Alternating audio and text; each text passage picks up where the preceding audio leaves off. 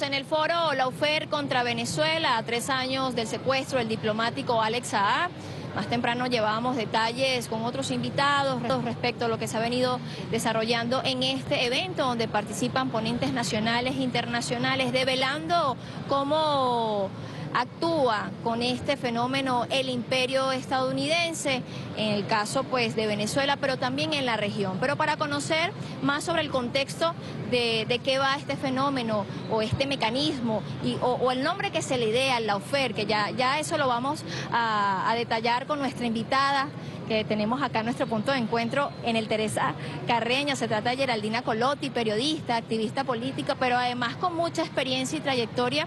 haciendo siempre el registro de las luchas revolucionarias, pero también cómo las luchas revolucionarias de los pueblos ah, sufren ataques, agresiones, como el caso del diplomático Alex Saab. Y por supuesto conocer tu mirada de este fenómeno. Bienvenido, bienvenida a nuestro punto de encuentro. Muchísimas gracias, siempre es un honor estar aquí en la que yo considero mi patria querida en revolución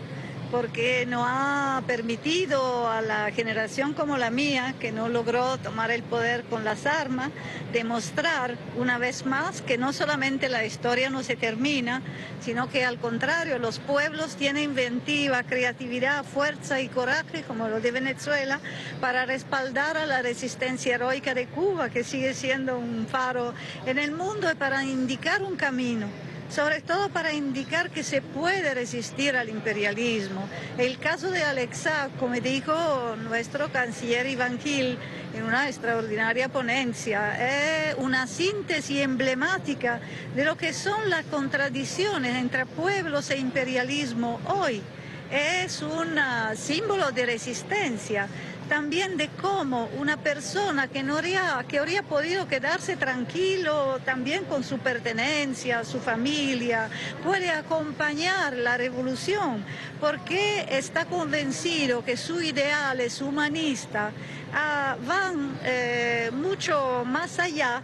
de las apartenencias políticas a veces, porque hay un discurso que tiene que ver con la especie humana que este modelo devastador quiere destruir desde la, con su falsedad, eh, utilizando una mediática, su aparato ideológico de control, que sirve para imponer una narrativa que, como decía su, a su tiempo Galeano, nos presenta una realidad al revés. Es muy importante eso que menciona porque parte de todo lo que se arma en contra de quienes eh, hoy pasan por situaciones similares a la de Alexa tiene que ver con esa narrativa mediática que genera, que forma parte de ese aparataje, ¿no? De, cómo se ataca a los pueblos atacando a un individuo, pero como desde la misma narrativa pareciese eso aislar el hecho individual de lo colectivo, ¿no? De cómo esa lucha de, una persona, en este particular del diplomático Alex A.,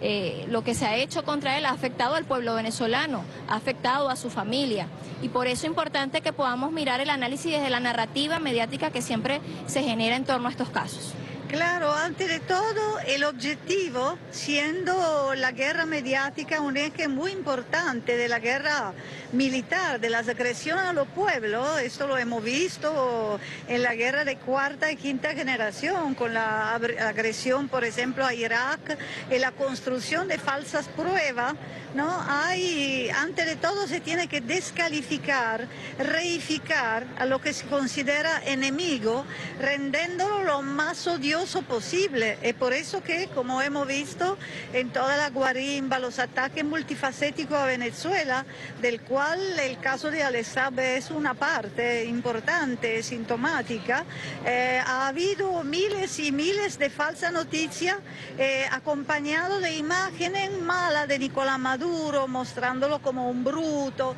mostrándolo como un dictador, mostrándolo de manera que la gente que ni siquiera sabe dónde está Caracas pueda identificarse como contra este señor tan malo que es depositario de todo lo que no, va, no se tiene que hacer contra un país. E igualmente hicieron con Alexab lo hacen en la misma plataforma, que son pagadas, por supuesto, por Washington, y que a pesar que se desmientan la, la fake news, las falsas noticias, después esta misma falsa noticia la retoman otra plataforma y la reponen en la mesa y se empiezan de nuevo a construir mentiras. Con Alexa lo hemos visto, empezó con algunas plataformas como Armando.info, que utilizan estereotipos de género, ejemplo, contra Camila. Eh, en Italia esto se puede hacer porque hay una historia, desafortunadamente, de cómo se han diabolizado los movimientos populares. Esto no es nuevo, porque si uno ve cómo la burguesía estaba describiendo al comunista Blanqui eh, en, su momento, es lo mismo con lo cual la señora mujer de, de,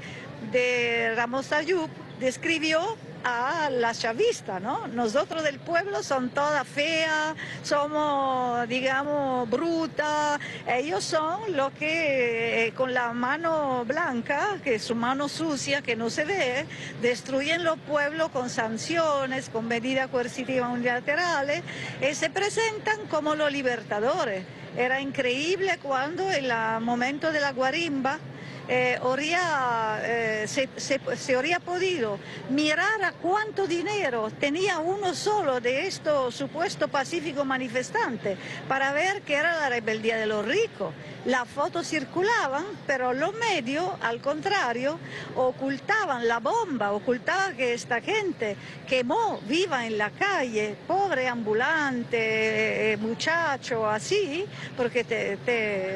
se parecía chavista eh, pero lo mostraban, pero lo que no valía en su país, porque uno lanza una piedra contra la injusticia, lo pone en la cárcel por año y año, pero a instituciones que ellos no reconocen se le puede hacer cualquier cosa. Todo está justificado, hasta atentado con drones contra el presidente y todo eso pasa por una descalificación diaria de las imágenes positivas, porque como dijo Obama, es verdad que Venezuela es una amenaza inusual, extraordinaria, porque la amenaza del ejemplo.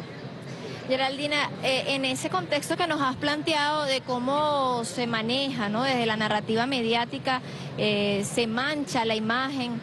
eh, no solamente, como yo lo he dicho, de, un individuo, sino también de mancha la imagen de las luchas revolucionarias. Hoy día se está viviendo un evento importante que tiene que ver con este foro, que no solamente es en nuestro país, sino que trasciende o traspasa fronteras porque estamos contando componentes internacionales que forman parte de este movimiento, el movimiento Free Alexa. ¿Cómo,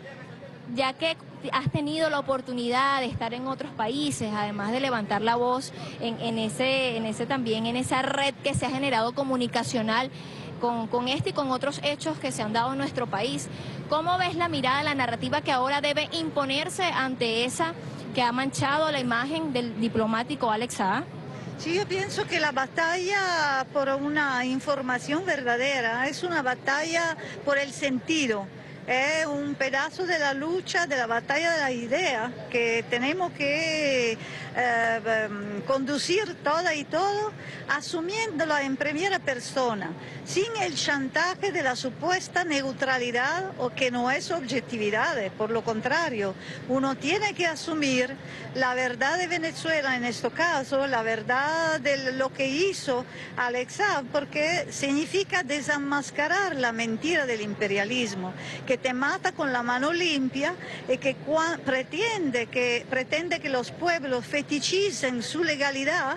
cuando, cuando no les sirve la pisotean, como estamos viendo. Eso emergió muy bien del, del convenio y también está en nuestra tarea yo coordino el movimiento Free Alexab en Italia en ese sentido, porque no es una campaña humanitaria, por supuesto sí lo es, porque eh, es normal que con todos los derechos que se violaron, empezando por los derechos básicos y, ni hablar de los derechos diplomáticos, convenciones, pero esta, eh, insisto, es un símbolo de todo lo que está pasando en este sistema, modelo, esta globalización capitalista que globaliza la explotación pero impide que los pueblos que quieren ser libres puedan decidir de su propio destino. ¿Por qué? Lo ha explicado muy bien Trump, así como nosotros los marxistas, los analistas que, saben cómo funciona eh, lo sabe muy bien, pero él ha explicado.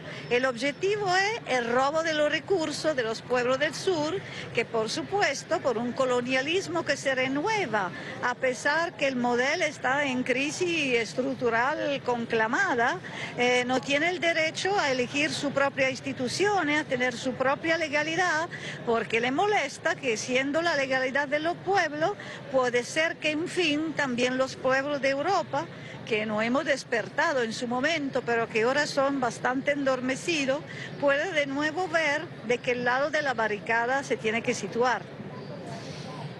Toca continuar, ¿no? Impulsar o seguir consolidando, hablando de lo comunicacional, porque quisiéramos aprovechar precisamente su participación en este foro y en esta entrevista eh, de cómo toca seguir fortaleciendo lo comunicacional para imponer entonces nuestra narrativa ¿no? mediática de, cómo se debería dar a conocer la verdad de cada uno de estos casos. Temprano hablábamos con, uno de los invitados ponentes a este foro. Eh, habla de más de 2.000 presos políticos, pero eso no se cuenta, eso no se dice, no se conocen los casos. Pero además también eh, mirando cómo este movimiento Free Alexada se ha venido consolidando en la región y aún así eh, mediáticamente no se le da la fuerza que merece. O no sé si estoy equivocada, Geraldina, ¿qué me puedes decir al respecto? Sí, es como exactamente, es un punto muy importante que tú estabas poniendo ahí. Eh, antes de todo, Venezuela es el centro de esta eh, nueva, de nuevo renacimiento también de la verdad de los pueblos, no solamente porque se organizaron aquí muchísimos encuentros internacionales, eh, también, después del foro de Sao Paulo, eh, en uno de estos encuentros se creó por decisión del presidente pueblo Nicolás Maduro, su propuesta de, los pueblos, eh, una Universidad Internacional de la Comunicación, la WICOM, que es dirigida por la compañera Tania Díaz, que es una dirigente del PSV, pero además una periodista e intelectual que ha vivido desde el anterior, como eh, ella cuenta también en nuestro libro Asedio a Venezuela, eh, cómo se ha vivido esta mentira en carne propia, como el pueblo y sobre todo las mujeres son un ejemplo de resistencia. Y cómo se tiene, tenemos que construir una contranarrativa eh, en la lucha por el sentido también fue la Fundación eh, Fernando Buenabad, que es un compañero que ha trabajado muchísimo este tema, la guerrilla semiótica. Tenemos que el, Venezuela desde Chávez, que ha sido como siempre un gran visionario también en este tema, con el foro Candanga, lo primero a utilizar el Twitter eh, a em, democratizar ya en el eh, golpe de 2002 fueron hackers revolucionarios que se empoderaron de nuevo de la eh, clave que los burgueses se habían robado de PDVSA y de todo. Digamos, Venezuela es un gran ejemplo de la soberanía tecnológica por la cual sigue Nicolás eh, comprometido, ¿no? Con la, hemos hecho muchísimo convenio, te digo, en este sentido, y lo, amo, lo hemos hemos continuado porque se sembró esto mensaje en el anterior de los pueblos, no está visible, como tú dices, porque por supuesto los medios hegemónicos tienen que ocultar y diabolizar. Me acabo de volver de un encuentro, del quinto encuentro de la red europea en defensa de la revolución bolivariana, donde el tema de Alex ha sido central en la mesa y donde hemos hecho sobre todo eh, hincapié en la necesidad de la narrativa contrahegemónica para eh, desmascarar los efectos de la llamada sanciones, la medida coercitiva unilaterales, y también el robo de lenguaje que hay cuando se impide a los pueblos de decir su verdad, de contarla, porque claro, los primeros chantajeados son los periodistas, los intelectuales europeos, porque si no, no lo invitan a la mesa buena, entonces no tiene que llamar las cosas con su propio nombre, sino que decir dictadura cuando se habla de Venezuela, régimen cuando se habla de los países que no le gusta a Washington, es maravillosa democracia cuando se trata de régimen como lo de De entidad que masacran cada día a los palestinos, pero por supuesto los palestinos no son personas porque han sido reificados para esta campaña mediática que tiene que reducir a la nada lo que por lo contrario son, llevan un mensaje de humanidad verdadera, que somos los pueblos revolucionarios. Geraldina, se nos agota el tiempo, pero igual muy agradecidos y agradecidas con tu presencia acá en nuestro punto de encuentro desde el Teatro Teresa Carreño, donde se lleva a cabo el foro La UFER contra Venezuela, tres años del secuestro del diplomático Alex A. Nos daba entonces un análisis y una mirada desde lo comunicacional que sin duda marca un hito en cada uno de estos hechos, porque o se cuenta o se invisibiliza. Y creo que allí está también el esfuerzo que se ha venido dando, no solamente este foro acá en Venezuela, sino también en otros lugares. Recientemente se hizo uno en Brasil, nos mencionas de este que se ha dado en Europa, parte pues sigue estando sobre la mesa este hecho eh, a tres años del secuestro del diplomático Alex A. Mucho que contar al pueblo venezolano, pero también al mundo para que siga identificando de qué manera actúa el imperio estadounidense cuando no obedecen a sus intereses. Gracias por acompañarnos. Muchísimas gracias a BTV. Gracias a ustedes por la sintonía. Nosotros tenemos que hacer una pausa necesaria. Vamos a tener más invitados en este programa de punto de encuentro que totalmente ha sido especial porque nos ha, nos ha generado una mirada, el detalle de todo lo que se ha venido dando en nuestro país respecto a este foro, pero no solamente eso, sino a lo que ha sido durante lo que se ha generado durante estos tres años del secuestro del diplomático Alex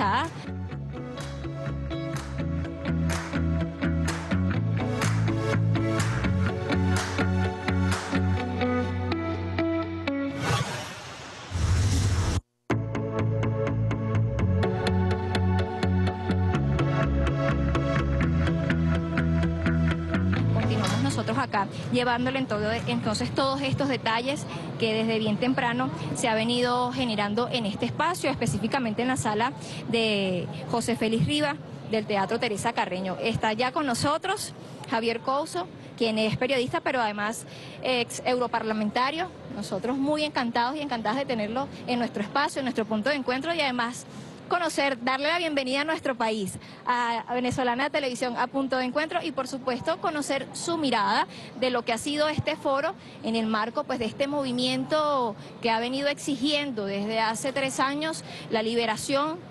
del diplomático Alex A y cómo se le ha calificado de ese secuestro, ¿no? Y conocer por supuesto sus impresiones al respecto. Bienvenido. Bueno, muchas gracias. Lo primero, un placer estar en esta tierra que quiero tanto y también en BTV, el canal público de Venezuela,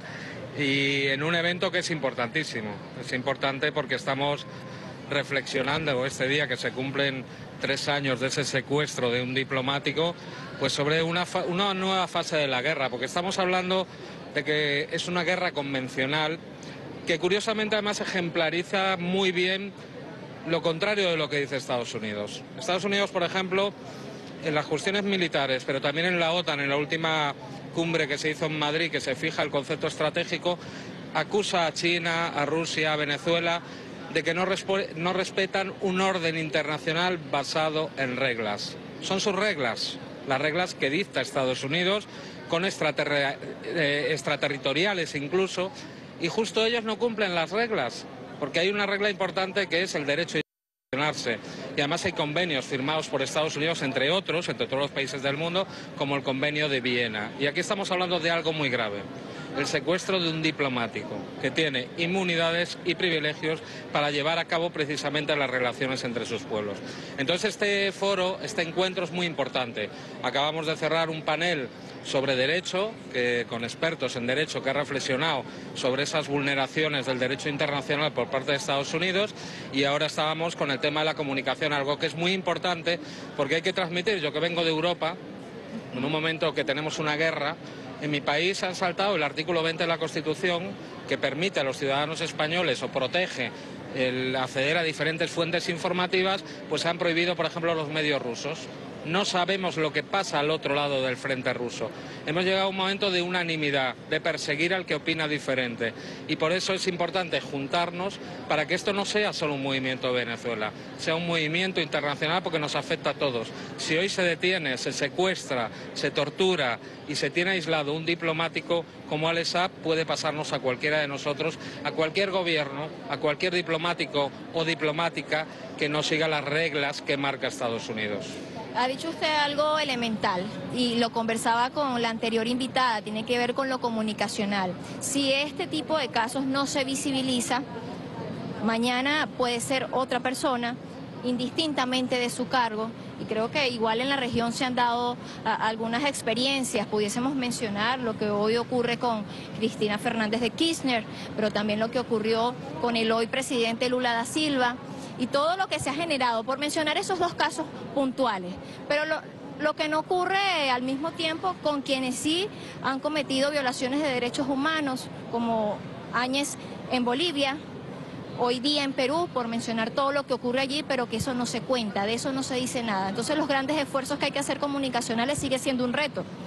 Sí, hay que contarlo claramente, ese doble rasero que se utiliza para unos y, no para otros. Y sobre todo la muerte de la política, que es la utilización de medios espurios, de medios ilegales para tumbar a gobiernos. En España se le denomina judicialización de la política. Pero lo que estamos hablando, y yo por eso insisto, porque yo siempre me ocupo de estos temas, yo fui vicepresidente de la Comisión de Asuntos Exteriores del Parlamento Europeo, pero también miembro de la Subcomisión de Seguridad y Defensa es un entorno más de la guerra, ¿no? La guerra tiene diferentes esferas, tierra, mar, el aire, se incorporó el espacio, el ciberespacio también, pero ahora se ha incorporado, y lo hemos sabido por elementos desclasificados de la OTAN, la guerra cognitiva, la guerra hacia el cerebro de las personas. Y tiene mucho que ver con la utilización no solo de los medios de comunicación, sino también de la inteligencia artificial y del bombardeo para que las poblaciones no sepan esto, no sepan que se ha perseguido a presidentes legítimamente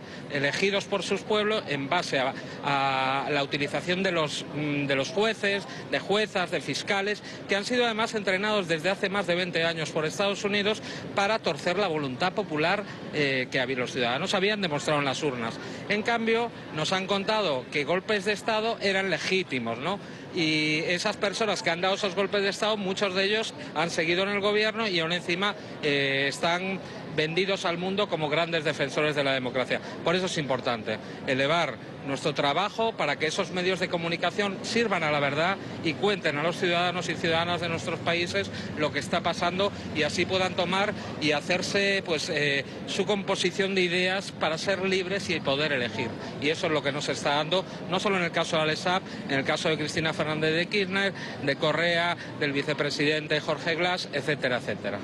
Sí, ha mencionado esos elementos que, nos permiten ¿no? ampliar la mirada en el, del análisis de lo que ocurre en la región con bueno, lo que se ha denominado la UFER, que es esa persecución jurídica, hoy día con el diplomático Alex ¿Cuáles serían, o, de qué manera se pudiese generar ese impulso comunicacional desde el análisis que usted pueda dar y, y en lo que ha venido trabajando? Sobre todo entendiendo que, lo, que el hegemón, que las transnacionales están en manos del hegemón, que hoy día pues rige eh, las riendas del mundo entero, pero los pueblos,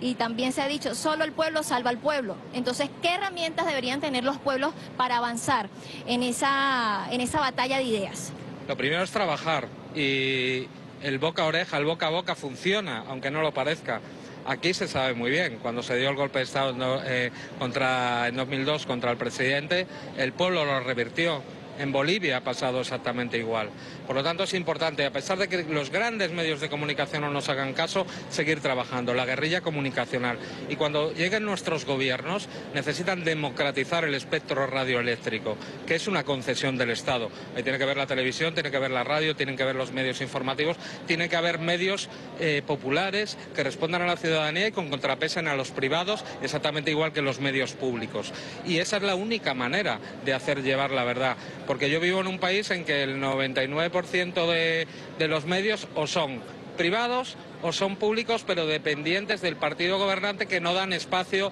a esa diversidad cultural y política que tiene mi país. Por lo tanto, yo creo que los pueblos son los que pueden organizarse y obligar a los periodistas y a las periodistas a que hagan su trabajo. Lo que me enseñaron a mí en la Facultad de Periodismo, en el Instituto Internacional de Periodismo José Martí de La Habana, la diversidad de fuentes, el investigar, el contextualizar. Y la única manera es que los pueblos presionen, si no, no lo van a hacer.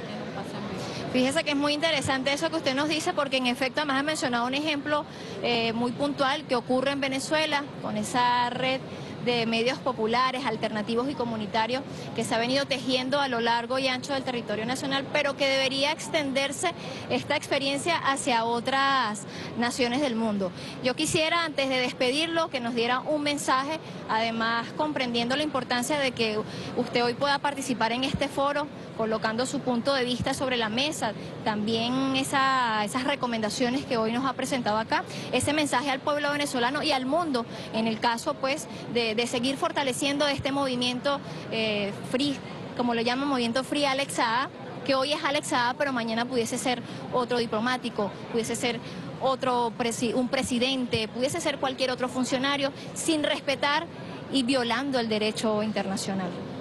Pues más que un mensaje al pueblo venezolano, decirle que lo vamos a acompañar, por lo menos algunos de nosotros que somos conscientes. Porque yo no vengo aquí a dar lecciones, al revés, vengo a aprender, ¿no? Un pueblo que ha soportado esa guerra terrible con terrorismo callejero, con unas sanciones, unas medidas coercitivas que han hecho la vida insoportable para los venezolanos, a las venezolanas, han intentado asesinar a su presidente, le han robado las reservas de oro y sigue hoy en día en pie, ¿no? Por lo tanto, decirle que lo vamos a acompañar y que hay ejemplos claros. Tenemos el ejemplo de los cinco. Yo participé en la lucha de los cinco cubanos antiterroristas que fueron detenidos injustamente. Conseguimos liberarlos. Yo sé que Alesap va a ser liberado, pero hay que apoyar. Hay que apoyar a la familia. Yo también soy familiar de un asesinado por el ejército de Estados Unidos. Seguimos después de 20 años en lucha y sin el apoyo de nuestra población no hubiéramos podido seguir. La familia nos necesita. Un pueblo unido vence. Gracias por acompañarnos esta tarde. Un placer.